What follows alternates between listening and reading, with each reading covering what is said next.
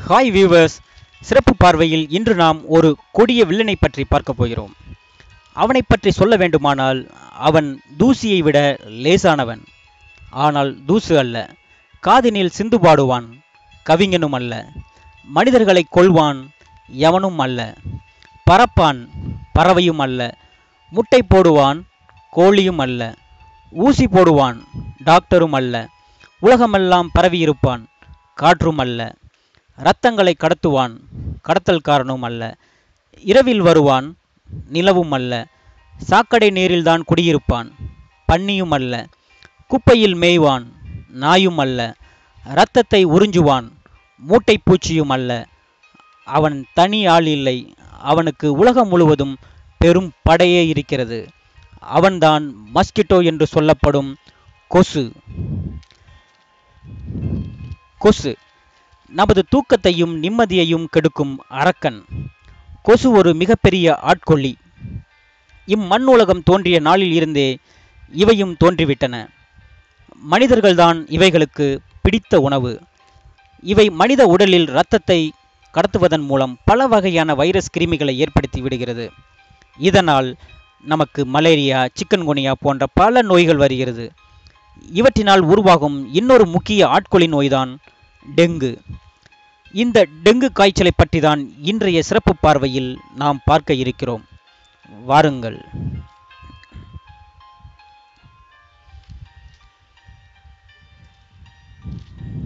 Dengue. கொசுவினால் ஏற்படுத்தக்கூடிய மிகப்பெரிய ஆட்கொள்ளி நோய். டெங்கு வைரஸால் ஏற்படும் இந்த நோய் ஆரம்பத்தில் சிறிய அளவில் காய்ச்சலை ஏற்படுத்துகிறது. இதுவே படிப்படியாக அதிகமாகி அதிகப்படியான காய்ச்சல் தலைவலி வாந்தி எடுத்தல் தசைவலி மூட்டுவலி என படிப்படியாக இரத்த செல்களை அழித்து எதிர்ப்பு சக்தியை குறைத்து நோயின் வீரியத்தை அதிகரிக்கச் செய்கிறது. சுமார் மூன்று முதல் பத்து நாட்கள் வரை நம்மை வச்சு செய்கிறது இந்த டெங்கு. இதனால் உடலில் சக்தி இழந்து படுத்த படுக்கையாக இருக்க செய்து விடுகிறது. இதன் தாக்குதலுக்கு குழந்தைகள்தான் இன்று வரை அதிகமாக பழிவாங்கப்பட்டு வருகிறார்கள். தமிழ்நாட்டில் இந்த டெங்குவிற்கு குழந்தைகள் முதல் பெரியவர்கள் வரை மொத்தம் இருநூறுக்கும் மேற்பட்டோர் இறந்துள்ளனர். இன்னும் தொடர்கிறது. இது மனதிற்கு மிகுந்த வேதனையை அளிக்கிறது. இப்படிப்பட்ட டெங்கு எப்படி உருவாகிறது? இதோ உங்கள் பார்வைக்கு.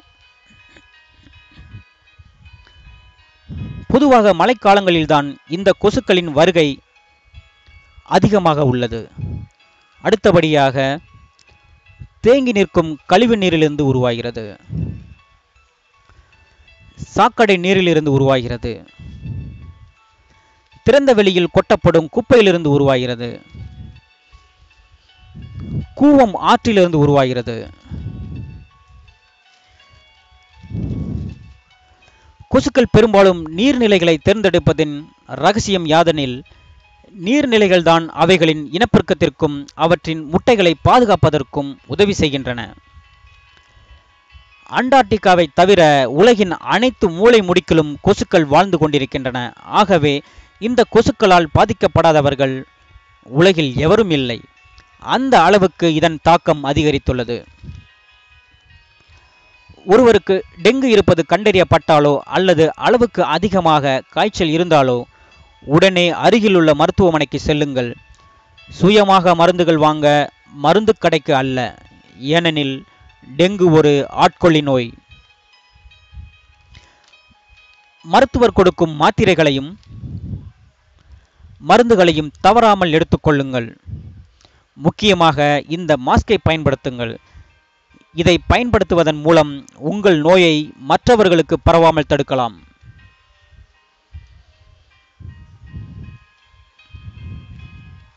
எந்த ஒரு நோயும் வந்தபின் காப்பதை விட வருமுன் காப்பதே உண்மையான தற்காப்பு. அப்படியென்றால் டெங்குவை நம்மால் வருமுன்னே பாதுகாக்க முடியுமா?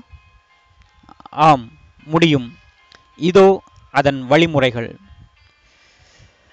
பொதுவாக கொசு உங்களை விரல் கை கால்களில் கடித்து ரத்தம் வந்தால் அதனை அலட்சியப்படுத்தாமல் அந்த இடத்தில் சோப்பு போட்டு சுத்தமான நீரில் நன்றாக கழுவி விடுங்கள்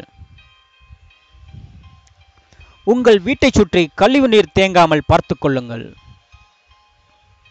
திறந்த வெளியில் குப்பை கொட்டுவதை உடனே நிறுத்திக் கொள்ளுங்கள்.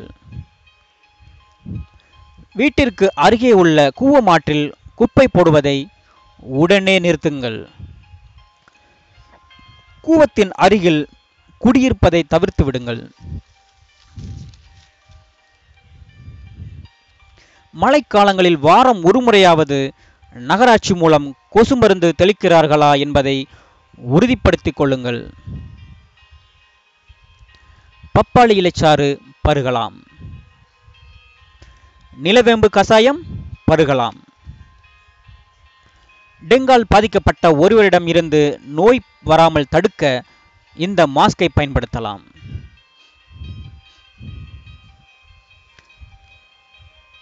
என்னதான் பார்த்து பார்த்து பாதுகாப்புடன் இருந்தாலும் பலரின் கவனக்குறைவாலும் அலட்சியத்தாலும் டெங்குவிற்கு எண்ணற்றோர் பலியாகி விடுகிறார்கள்.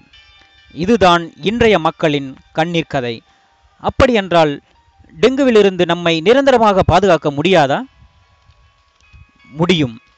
மாறி வரும் இந்த கம்ப்யூட்டர் உலகில் புதிது புதிதாய் வரும் நோய்களுக்கு புதிது புதிதாய் மருந்தை கண்டுபிடிக்கிறோமே தவிர நமது முன்னோர்கள் நமக்கு விட்டு சென்ற ஒரு விஷயத்தை பயன்படுத்த நாம் மறந்து விடுகிறோம் அதை பயன்படுத்தினால் டெங்கு மட்டும் அல்லாது அனைத்து கொசு பிரச்சனைகளுக்கும் நூறு சதவீத நிரந்தர தீர்வு கிடைப்பது நிச்சயம். அதுதான் கொசுவலை. ஆம் மலிவாக கிடைக்கும் இந்த கொசுவலையை வாங்கி உங்களையும் உங்கள் குழந்தைகளையும் டெங்குவிலிருந்து காத்திடுங்கள். இந்த கொசுவலையை உங்கள் வீட்டின் கதவிலும் ஜன்னல்களிலும் பொருத்தி உங்கள் வீட்டையே ஒரு பாதுகாப்பு வளையமாக மாற்றிக்கொள்ளுங்கள். எனவே இன்றே கொசுவலையை வாங்கி நிம்மதியாக உறங்கி டெங்குவிலிருந்து உங்களையும் உங்கள் குழந்தைகளையும் பாதுகாத்துக் கொள்ளுங்கள். நன்றி வணக்கம்.